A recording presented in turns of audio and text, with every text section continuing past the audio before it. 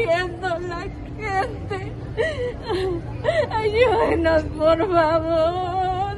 Ya no soporto tanto dolor.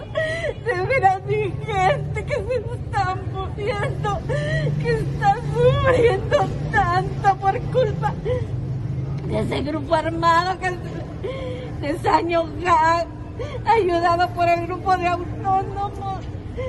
Solo están causando daño, han, acabado con el pueblo, ya tienen muchos años que lo están acabando. Y mucha gente no se salga porque tiene su patrimonio ahí, pero ya no se puede vivir ahí. Ayuden a que salga la gente, ya no aguanta vivir ahí, ya no tienen comida.